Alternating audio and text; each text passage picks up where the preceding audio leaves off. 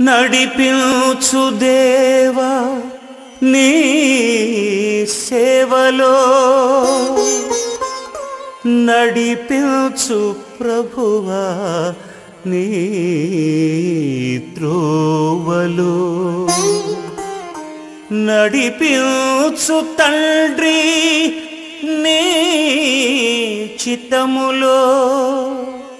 నడిపించు దేవా నీ అడుగు జాడలో.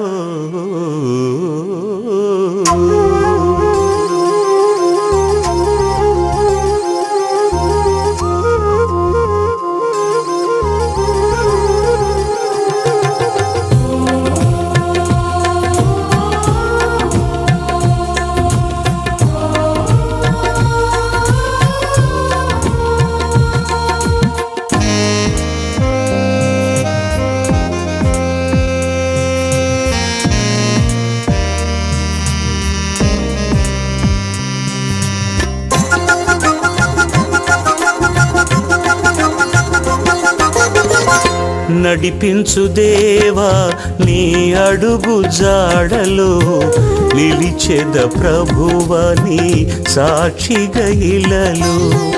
నడిపించు దేవా నీ అడుగు జాడలు నిలిచెద ప్రభువని సాక్షిగా ఇలలో. కలిమిలో నైనను లేమిలో నైనను తడబడకుండ నీతో పయనించెదను.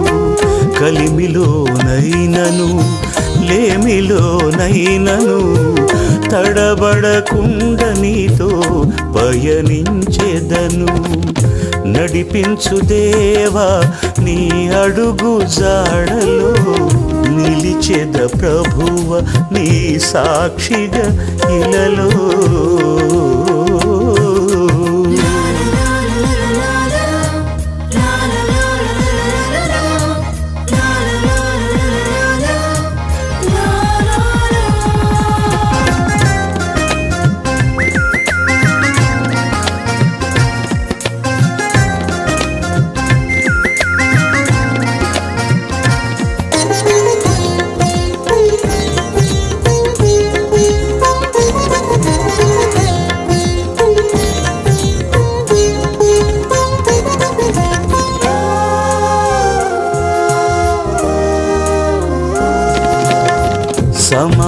బంధమైన జోడును తొడుగుకొని సత్యమనే దట్టిని నడుమునకు కట్టుకొని.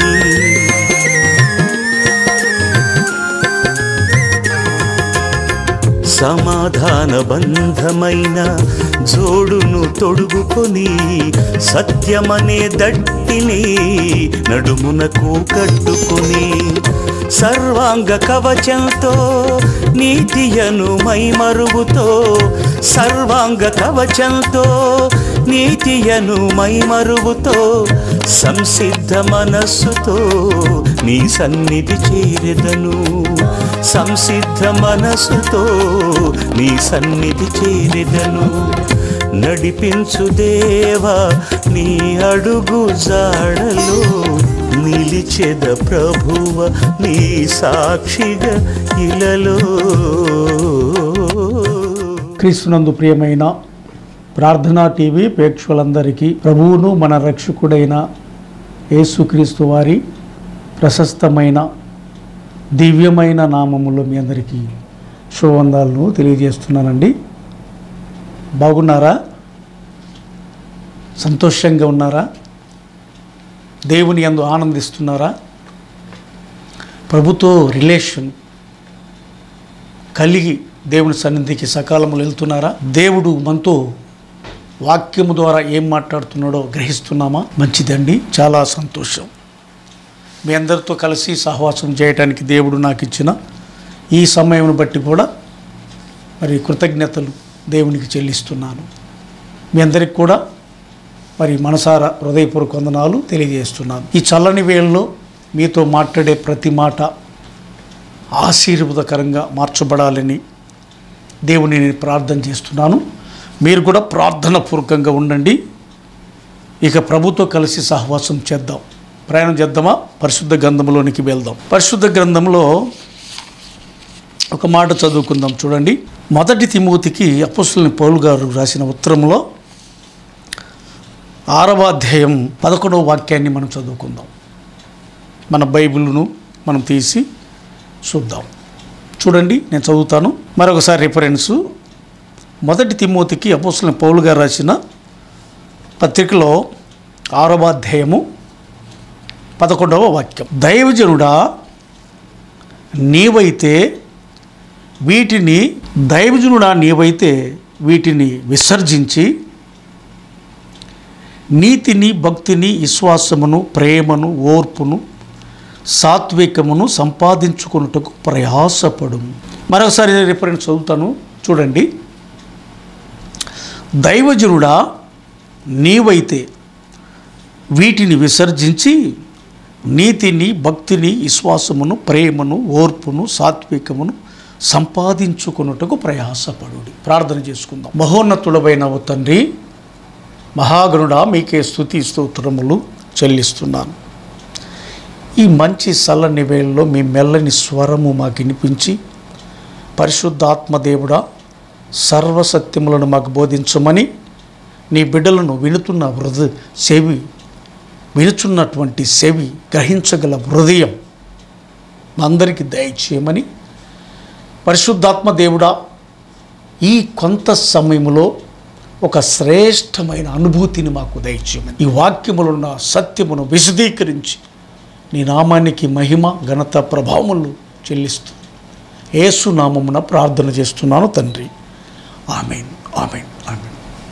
మరొకసారి మీ అందరికీ ప్రభునాలు వందనాలండి. అపోస్తుల పౌలు గారు తిమోతికి తన ప్రియ కుమారుడు తిమోతి. కష్టములో బాధలలో ఇబ్బందులలో ఎప్పుడైనా సరే ఆయన మరి పౌలు గారి అంట ఎనివెంట ఉన్న తన ప్రియ కుమారుడు. లేఖనము అపోస్తుల పౌలు గారు విత్తుతున్నప్పుడు ఆ మాటలలో ఉన్న మకరందాన్ని స్వీకరించుకున్నటువంటి కుమారుడు ఈ తిమోతి. అందుకని ఈ తిమోతిని ఎక్కువగా ప్రేమించాడు పౌలు గారు. పౌలు గారు దేవుణ్ణి ప్రేమించాడు ఎక్కువగా. దేవుని ఆ మనసు కలిగిన పౌలు గారు తిమోతిని ప్రేమిస్తున్నాడు.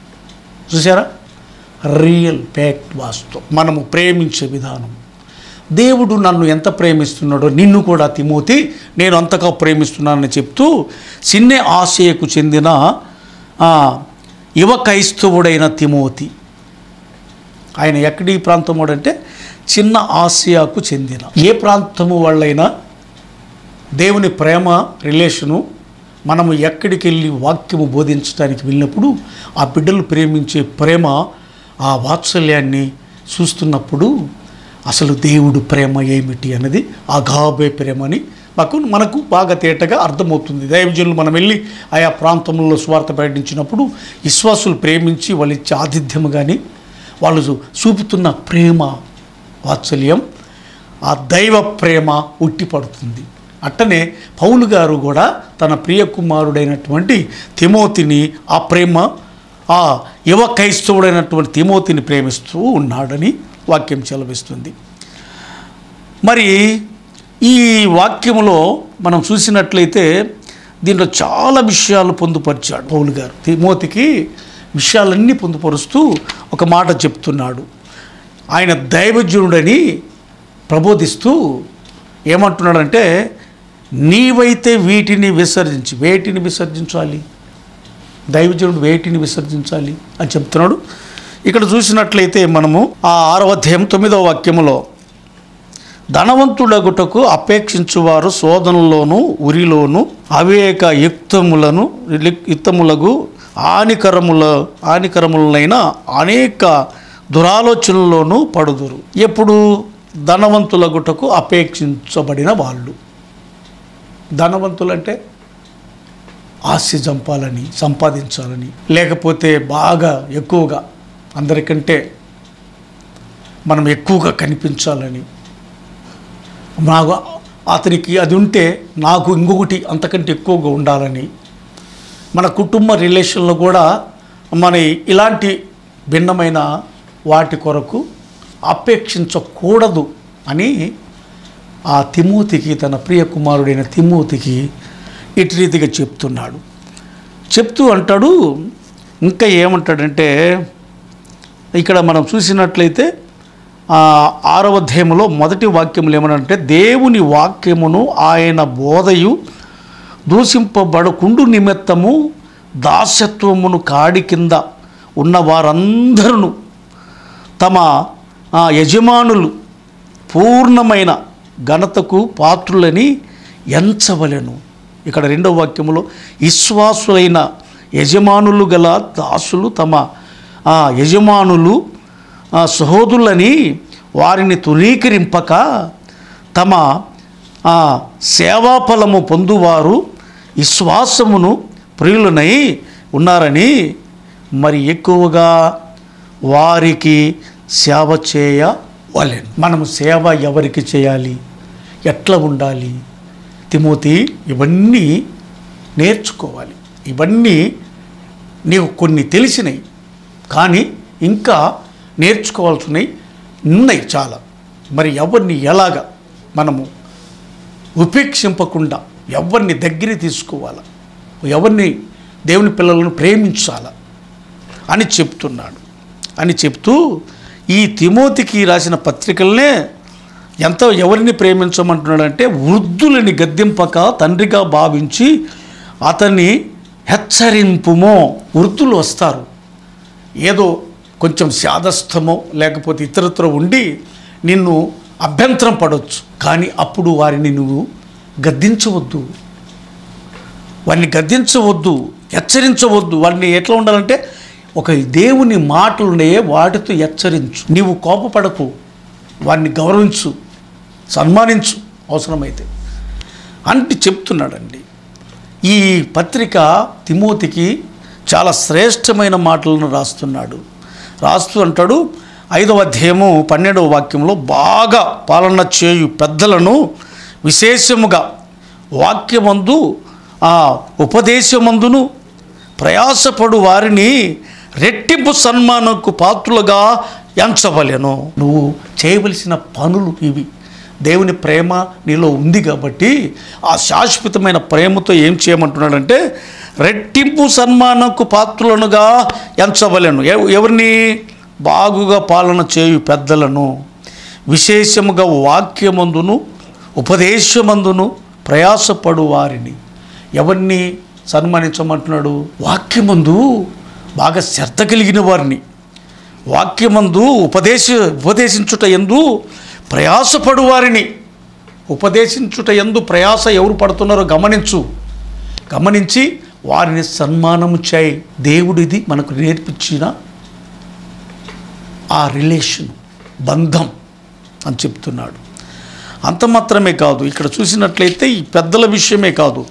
మూడో అధ్యాయంలో మనం చూసినట్లయితే తిమోతికి మొదటి పత్రికలనే మూడో అధ్యాయంలో మొదటి వాక్యములు ఎవడైనను అధ్యక్ష పదవిని ఆశించిన ఎడల అట్టివాడు దొడ్డ దొడ్డ పనిని అపేక్షించుచున్నాడని మాట నమ్మదగినది. ఏంటంట వాడు ఆశించేది అధ్యక్ష పదవి. సంఘములో అధ్యక్ష పదవే ఆశిస్తున్నాడు కానీ దేవుని యొక్క పని కోసం కానే కాదు. దేవుణ్ణి వాడు ప్రేమించువాడు కాదు. లోకము కొరకు ప్రజల కొరకు వాడు ప్రయాసపడుతున్నాడు. దేవుని కొరకు కాదు. అట్టివాడు దొడ్డ మనసు దొడ్డ పనిని అపేక్షించుచున్నాడని హెంచుమంటున్నాడు సంఘంలో వాస్తవంగా ఇలాంటి వాళ్ళు ఉంటారు. వాళ్ళకి కావాల్సినది పదవిలు యామోహములు ఇంకా ఇతరత్ర అవే కానీ దేవుని శ్రద్ధ కలిగి మాత్రము కానే కాదు. అని చెప్తున్నాడండి. చెప్తూ వాడు ఎలా ఉండాలంటే అధ్యక్ష పదవి ఆశించిన వాడు అధ్యక్షుడగు వాడు నిందారహితుడును ఏకపతి పురుషుడును మితానుభవమును స్వస్థబుద్ధి స్వస్థ బుద్ధి కలిగిన వాడును మర్యాదస్థుడును అతిథి ప్రియుడును బోధింప తగిన వాడనై ఉండి మద్యపానీయు కొట్టువాడగాక సాత్వికమును జగడమాడని వాడును. ధనాపేక్ష లేనివాడనై సంపూర్ణ మాన్యత కలిగి తన పిల్లలకు పిల్లలను స్వాధీనపరుచుకొనుచు తన ఇంటి వారిని బాగుగా ఏలువాడునై ఉండవలెను. ఇది చెప్తున్నాడు. తిమోతికి దైవజనుడా నీ నే నీవైతే వీటిని విసర్జించి నీతిని భక్తిని విశ్వాసమును ప్రేమను ఓర్పును సాత్వికమును సంపాదించుకున్నట్టుకు ప్రయాసపడు. ఇవన్నీ నీకు అక్కర్లేదు. అధ్యక్షుడిగా ఉండటం అక్కర్లేదు పెద్దలుగా ఉండటం అక్కర్లేదు నువ్వు ఇతరితర అవసరం లేదు. నీకు కావాల్సినది ఏంటంటే నీకు కావాల్సిన విషయాలు ఏంటంటే వీటినన్నిటిని విసర్జించు. దేవుడు వాక్యమును చేపట్టు. దైవజనుడికి ఎక్కువగా ఏముండాలంటే దేవుని వాక్యమందు శ్రద్ధ కలిగి ఉండాలి. అతను నిజమైన దైవజనుడు. ఏలియా దేవుని వాక్యమందు శ్రద్ధ కలిగి ఉన్నాడు కాబట్టి ఏలియ నిజమైన దైవజనుడు. ఆ యదవరాలు నిజమైన దైవజనుడు అని నేను కనుగొన్నానని చెప్తుంది. కనుగొంటారు నిజమైన దైవజనులను కనుగొంటారు. సంఘములలో గీలిబిల్లి పెట్టువాడిని కానీ సంఘ అధ్యక్ష పదవి ఆశించువాడిని కానీ సంఘ పెద్దలు కూడా ఎలా ఉండాలో ఏకపతి పురుషులై ఉండాలి. నిందారహితుడై ఉండాలి. సమాజ సంఘాలలో అతనికి ఏ నిందలు ఉండకూడదు. సమాజం సంఘాలలో వచ్చినప్పుడు అతను చాలా బుద్ధిమంతుడు మంచి వ్యక్తి అని సంఘ సమాజంలో ఉన్న వ్యక్తులతో అనిపించుకోవాలి. అనిపించుకోవాలంటే దేవునితో ప్రయాణం చేయాలి. దేవుని వాక్యము నేర్చుకొని ఉండాలి. దేవునితో రిలేషన్ కలిగి ఉండాలి. అటువంటి వ్యక్తులు సంఘాలలో ఉంటే సంఘ క్షేమము కలిగి ఉంటుంది. సంఘము ఆ సంఘములో ఒక్కొక్కరు ప్రేమ పంచుకుంటూ ఉంటారు. ప్రేమను రాగాలు కలిగి జీవిస్తారు. ఒకరికొకరు ఒకరికొకరు పురిగి గలుపుకుంటారు ఒకరి ఇంట్లో ఏం జరిగినా ఏ శుభకార్యాలు జరిగినా ఏ అశుభకార్యాలు జరిగినా పాలు పంపులు పొందుకుంటారు. వారి కుటుంబంలో ఏదైనా జరిగితే వారిని ఎత్తి పొడవరు లేకపోతే దెప్పి పొడవరు లేకపోతే ఇంకొకటి ఉండదు. ఇది అస్సలు. దేవుణ్ణి ఈ దేవుని వాత్సల్యత అంటే నా ప్రియ కుమారుడని అపోస్ల పౌలు గారు ఆ తిమోతి అయిన తన ప్రియ కుమారుడికి ఈ విధంగా రాస్తున్నాడు అనమాట అయితే చాలా శ్రేష్టమైన మాటలను కూడా చెప్పాడు. తిమోతి మొదటి పత్రికలో మొదటి అధ్యాయంలో ఏమని సంబోధిస్తున్నాడంటే మన రక్షకుడైన దేవుని యొక్కయు మన నిరీక్షణ అయిన క్రీస్తు యేసు యొక్కయు ఆ ఆజ్ఞ ప్రకారం క్రీస్తు యేసు యొక్క అపోస్తుడైన పౌలు విశ్వాసమును బట్టి నా నిజమైన కుమారుడగు తిమోతికి శుభమని చెప్పి రాయినది. చూసారా తిమోతికి దైవజనుడైన తిమోతి తన ప్రియ కుమారుడు తిమోతి. ఇది అసలు రిలేషన్ తిమోతి ఎవరో పౌలు ఎవరో ఈ దినాల్లో చూస్తే తన స్వ తన కుటుంబ సభ్యులను ఏర్పాటు చేసుకుంటున్నారు చాలామంది. అసలు తిమోతి ఎవరు? చిన్న ఆసియాలో పుట్టిన వ్యక్తి తిమోతి. అప్పస్సులు పౌలు గారు ఎప్పుడు ఎవరు? దీన్ని బట్టి మనం ఆలోచన చేసుకోవాలి. ఎవరు ప్రయోజకులో అప్రయోజకులో చూసుకొని ఎన్నుకోవాలి. అధ్యక్ష పదవికి ఆశించువాడు ఉంటాడు దొడ్డ మనసు కలిగి. వాడిని మనం ఏం చేయాలంటే రిజెక్ట్ చేయాలి వాస్తవంగా. వాడిని ఎన్నుకోకూడదు. మనం సంఘమే తప్పు చేసినట్టు అవుతుంది. దేవుని పిల్లలు ఆ పరిశుద్ధాత్మ కలిగి ఎవరు సజ్జనులు ఎవరు సంఘములో ఉండవలసిన వాళ్ళు అవన్నీ నేర్చుకొని బోధిస్తారు. నేర్చుకొని నిర్ణయం తీసుకుంటారు. కనుక తిమోతికి ఇవన్నీ చెప్తున్నాడు. తిమోతి ఎలా ఉంటుంది సంఘ సంఘ ప పరిజ్ఞానంలో ఎలా ఉంటారు? ఎలా ఉంటారు? వాళ్ళందరినీ నువ్వు కనుగొనాలి. వాళ్ళందరినీ చేయాలి ధనాపేక్ష కలిగిన వాళ్ళు ఉంటారు. సమాన ధనాపేక్ష సమస్య కీళ్ళకు మూలం. దాన్ని ఆశించిన వాడు తమ్ముడు తాము పొడుచుకొని చనిపోతారు. వారి సంగతి కూడా బోధించును. అని తన ప్రియ కుమారుడైన తిమోతికి ఈ పత్రిక రాస్తున్నాడు. ప్రత్యేకంగా ఆ దైవజనుడైన తిమోతికి అపోస్తులైన పౌలు గొప్ప సేవకుడు అపోస్తులైన సేవకుడు ఆ యొక్క ప్రియకుమారుడు ప్రయోజకుడు అయ్యాడని ఆయన బోధిస్తాడని ఆ సంఘాలకు క్షేమం కలుగుతుందని దేవుడు పిల్లలు అనేక మంది సంఘాలలో చేర్చబడతారని ఈ విషయాలు తెలుసుకొని తిమోతిని బలపరుస్తున్నాడు పౌలు గారు. ప్రియా దేవుని బిడ్డలారా మరి నువ్వెవరినైనా బలపరుస్తున్నావా? దేవుని విషయాలను విశదీకరించి ఆ వ్యక్తికి బోధిస్తున్నారా? ఇలా ఇలాగా ఇలాగా ఈ పద్ధతులు ఈ సంఘములో ఇలాంటి పెద్దలు ఉండాలి సంఘ అధ్యక్షులు ఇలా ఉండాలి పెద్దలుగా ఉండేవాళ్ళు ఇలాగ ఉండాలి ఈ బుద్ధి కలిగి ఉండాలి అని బోధిస్తూ ఉన్నాడు. ఇప్పుడు ఈ ఇక్కడ చూసినట్లయితే మూడవ అధ్యాయంలో మనం చూసినట్లయితే మూడవ వాక్యం చదువుకుందాం. చూడండి. మూడవ వాక్యంలో ఏం రాయబడిందో? స్వస్థ బుద్ధి గలవాడును. మిత మితానుభవముడు మర్యాదస్థుడును అతిథి ప్రియుడును. బోధింపతగిన వాడనై ఉండి మద్యపానీయు కొట్టువాడును కాక సాత్వికుడును జగడమాడని వాడును ధనాపేక్ష లేనివాడనై సంపూర్ణ మాన్యత కలిగి తన పిల్లలను స్వాధీనపరచుకొనుచు తన ఇంటి వారిని బాగుగా వేలువాడై వాళ్ళనై ఉండవలెను.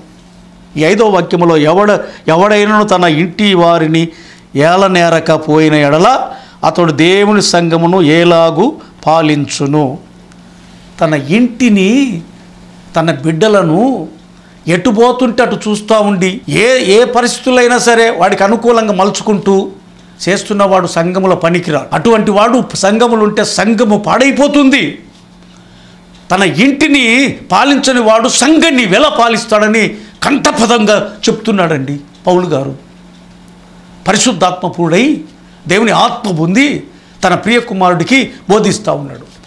తన ఇంటి వారిని ఎటుపోతుంటాడు చూసి పాప పంకింలో మగ్గిపోతున్న వారిని పట్టించుకోకుండా అయితేందిలే నాదిగా నాకు కాదులే అని వారిని వదిలేసి సంఘమునికి వచ్చేసి నేను పెద్ద అని చెప్పటం అనేది అతడు పనికిరాడు. ఖచ్చితంగా కొటేషన్ ఇచ్చాడు ఇక్కడ. అతను పనికిరాడని. చూశారండి? వాస్తవం రియల్ ప్యాట్ అతడు దేవుని సంఘమును ఎలాగూ పాలించును? అతడు గర్వాంధుడై అపవాదికి కలిగిన శిక్ష విధికి లో లోబడకుండు నట్లు క్రొత్తగా చేరిన వాడై ఉండకూడదు. ఎవడైనా ఒక మంచి సంఘములో అతను ఒక స్థానికుడై ఉండాలి. అతను దేవునితో ప్రెనుగులాడే అనుభవం ప్రార్థన అనుభవం కలిగిన వ్యక్తి అయి ఉండాలి. పెద్ద కానీ ఒక సంఘ అధ్యక్షుడు కానీ ఉండాలంటే. ఇలాగ ఉండాలి తిమోతి. అప్పుడు సంఘ క్షేమము కలిగి ఉంటుంది సంఘము విస్తరిస్తుంది. దేవుడు ఆ సంఘములో పరిశుద్ధాత్మ దేవుడు వరాలు ఇస్తాడు ఆ బిడ్డలతో మాట్లాడతాడు ఆ బిడ్డలతో ఆ విశ్వాస జీవితంలో పరిమాణంలో మెట్టు మెట్టు ఎక్కుతుంటారు. అది అసలు సంఘ రిలేషన్. కనుక నీవు దైవజనుడు కాబట్టి ఏ విసర్జించాలి ఇవన్నీ ఇవన్నీ ఏముండకూడదు నీకు. అప్పుడే నీవు దేవుని దైవజనుడివి. దేవునికి దేవుని రిలేషను బంధం. ఆ వాత్సల్యంలో ఇమిడిపోతూ ఉంటాడు. ఇంకా చాలా సంగతులు చెప్పాడు. ఈ రెండు అధ్యాయంలో స్త్రీలు ఎలా ఉండాలని చెప్పాడు. స్త్రీలు తగుమాత్రము వస్త్రం ఆ జల్లతోనైనను అలంకరించకూడదను. దైవభక్తి కలిగిన వారం అని చెప్పుకున్న స్త్రీలకు పదవ పదవ అధ్యాయం రెండవ అధ్యయము అధ్యాయము పదవ వాక్యం. దైవభక్తి గల వారమని చెప్పుకోను. స్త్రీలకు తగినట్టుగా సత్క్రియల చేత తమ్మును తాము అలంకరించుకొనవలెను. స్త్రీలు మౌనంగా ఉండి సంపూర్ణ విధేయతతో నేర్చుకొనవలనని స్త్రీ మౌనంగా ఉండవలసినదే కానీ ఉపదేశించుటకైనను పురుషుని మీద అధికారము చేయుటకైనను ఆమెకు సెలవివ్వను. మొదట ఆదాము తర్వాత హవ్వయు నిర్మింపబడిది కారా? మరియు ఆదాము మోసపరచలేదు కానీ స్త్రీ మోసపర్ మోసపరచబడి అపరాధములో పడెను. చూసారా అపరాధములో పడెను. కనుక స్త్రీలు కూడా సంఘములో చాలా జ్ఞానంగా మసులుకొని సంఘక్షేమం కోసము ప్రయాసపడండి. వీళ్ళను ఏర్పాటు చేసేటప్పుడు కూడా సంఘ పెద్దలు ఎలా ఉండాలో సంఘ అధ్యక్షులు ఎలా ఉండాలో సంఘములో దైవజనుడు ఏ ఏ విధంగా ప్రవర్తిస్తున్నాడో వాళ్ళ ఇంటిని పరిపాలన చేసుకుంటున్నారా లేదా లేకపోతే వాళ్ళ ఇంటనే ఏ ఏ ఉంటే మనకొచ్చి చెప్పటమా ఎన్ని అపోసిన పౌలు గారు తన ప్రియ కుమారుడైన తిమోతికి బోధిస్తూ ఉన్నాడు. అది పత్రికలో ఉన్న సారాంశం. ఈ పత్రిక మనకు నేర్పిస్తున్న సారాంశం ఏంటంటే సంఘం సంఘక్షేమము దైవజనుడు ఎలా ఉండాలి? దైవజనుడికి ఆ పెద్దలు ఎలా ఉండాలి? ఆ పోతే ఈ అధ్యక్షులుగా సంఘ అధ్యక్షులుగా ఉంటారే ప్రెసిడెంట్ అండి సెక్రటరీ అండి వీళ్ళంతా. వాళ్ళు ఎలా ఉండాలని? ఈ సంఘ ఈ యొక్క పత్రికలో తేటగా అపోసుల పౌలు గారు పరిశుద్ధాత్మ పూర్ణుడై అపోసులత్వం పొందినవాడై ఈ పత్రికను తన ప్రియ కుమారుడైన తిమోతికి రాస్తున్నాడు తిమోతికి. మరి నీకు నాకు పరిశుద్ధాత్మ దేవుడు ఇప్పుడు బోధిస్తూ ఉన్నాడు. కనుక ప్రియా దేవుని బిడ్డలారా ఈ వాక్యంలో ఉన్న సత్యాన్ని మనము గమనించినట్లయితే మనము దేవుని పిల్లలు ఎవరో అపవాది పిల్లలు ఎవరో ఇవన్నీ మనకు తేటగా అర్థమవుతాయి. పరిశుద్ధాత్మ దేవుడు మనకి ఎన్ని తేటగా బయలుపరుస్తాడు? వాస్తవం ఇది. రియల్ ఫ్యాక్ట్ వాస్తవం. సత్యం. మన ఇంటిని మనము బాగుగా మన బిడ్డలను పాలించుకోవాలి. ఇది అసలు దేవుడు మనకు నేర్పిస్తున్నాం. మన ఇంటినే పాలించుకోలేని వాడు సంఘాన్ని పాలించలేడంట. మరి దా ఇప్పుడు అధ్యక్షులుగా ఉండేవాడు ఏం చెప్తున్నాడు? ఎవడైనా అధ్యక్ష పదవిని ఆశించినలా అట్టివాడు దొడ్డ పనిని అపేక్షించుచున్నాడని మాట నమ్మదగినది. ఏ మాట నమ్మదగినదో నేర్చుకోవాలి. దేవుని మాట నమ్మదగినది. దేవుని మాటలో ఉన్న పవర్ అది మనకు కావాల్సి ఉన్నది కనుక ఇవన్నీ దేవుడు మరి అపో అపోసిన పౌలు గారు దైవజనుడైన తిమోతికి ఈ మాటలు తెలియపరుస్తున్నాడు. మనకు కూడా ఈ సమయంలో ఈ మాటలు మనకు కూడా తెలియపరుస్తూ ఉన్నాడు. మనం ఏమన్నా ఉంటే చిన్న చిన్న విషయాలు విసర్జించాలి. విసర్జించాలి. విసర్జించేదనే మాట ఇది చాలా శ్రేష్టమైన మాట. మళ్ళీ ఉన్న లోపాలు మనకున్న ఆ చెడు అలవాట్లు మనకున్న మన కుటుంబమే కాదు బయట కుటుంబాలు కూడా చూడాలి. నిన్ను వల్ల నీ పొరుగు వాడిని ప్రేమించాలి. అయి వాత్సల్యత కలిగి ఉంటే నువ్వు ఏ పని చేసినా దేవునికి నెరవేర్చబడుతుంది. అంతేగాని నువ్వు ఏ పని చేసినా వేస్ట్. మనసులో చూడటానికి కోసం అనేది కాదు. దేవుడున్నాడు ఆయన పని చేయాలి. ఆయన పని మనం చేస్తే మన పని ఆయన చేస్తాడు. కనుక మా దైవజనుడాన్ని ఏవైతే వీటిని విసర్జించి నీతిని భక్తిని విశ్వాసమును ప్రేమను ఓర్పును సాత్వికమును సంపాదించుకున్నట్టుకు ప్రయాసపడ. మనము వీటిని సంపాదించుకున్నట్టుకు ప్రయాసపడాలి. కనుక దేవుడి మాటలు దీవించి ఆశీర్వదించునుగాక. దేవుడి మాటలు మన ఇనికిడిలో దీవించి విస్తరింపజేయునుగాక. ఆశీర్వదించబడునుగాక. మన కుటుంబాలకు మనకి ప్రయోజనకరంగా మార్చబడునుగాక. దేవుడు మరి తన ప్రియ కుమారుడు మరి తిమోతి అభివృద్ధి పడినట్టుగా దేవుని సేవ విస్తరింపబడినట్టుగా మనం కూడా మన కుటుంబాలు మనము ఆశీర్వదించబడిన దేవుని బ్లెస్సింగ్ దేవుని ఆశీర్వాదం మనందరికీ కలుగునుగాక. మరి దేవుడు ఈ మాటలను దీవించి ఆశీర్వదించునుగా ప్రార్థన చేసుకుందామండి. తల్లు వంచండి కళ్ళు మూయండి. ప్రార్థన. మహాగణుడమైన తండ్రి మీకే స్థుతి స్తోత్రములు చెల్లిస్తున్నాము. నిజమే ప్రభా పుస్తున్న పౌలు గారు నాయన తన ప్రియ కుమారుడి మీద ఎంత ప్రేమ మమకారం పెట్టుకొని ప్రభా మీ ప్రేమను పంచాడు పౌలు గారు. తన ప్రియ కుమారుడైన తిమోతికి పంచుతూ ఎలా ఉండాలా దైవజనుడా ఇవన్నీ విసర్జించాలా నువ్వు అని పలికాడు. పెద్దలు ఎలాగుంటే సన్మానకు పాత్రలో నేర్పించారు. దైవజనుడు ఎలా ఉండాలో అలాగనే అధ్యక్షుడుగా ఉన్న దొడ్డ మనసును అపేక్షించిన వాడిగా కాకుండా సంఘాన్ని పాలించే వ్యక్తిగా సంఘ క్రమము మర్యాదలు నేర్చుకునే వ్యక్తిగా మరి ఉండాలని మీరు బోధించారు. ధనాపేక్ష సమస్త కీడులకు మూలమని బోధించారు. ఇవన్నీ ప్రభు మా హృదయంతరంగంలో మీరు భద్రపరచండి మళ్ళీ ఉంటే తీసివేయండి. ప్రతి సంఘము ప్రతి విశ్వాసి ప్రతి దైవజనుడు ఆశీర్వించబడటానికి కృప అనుగ్రహించమని పౌలు గారు పంచిన ప్రేమ ప్రతి ఒక్కరు పంచడానికి కృప అనుగ్రహించమని ఏసునామంలో ప్రార్థన చేస్తున్నాను తండ్రి. Amen amen amen. మన తండ్రి అయిన దేవుని నుండి కుమారుడైన యేసు క్రీస్తు ప్రభుల వారి నుండి పరిశుద్ధాత్మ దేవుని అన్యుని సహవాసము సన్నిధి మనకును సకల పరిశుద్ధులకును సదాకాలము తోడై ఉండుగాక. Amen amen amen. God bless ఇవ్వండి మీ అందరికీ వందనాలు.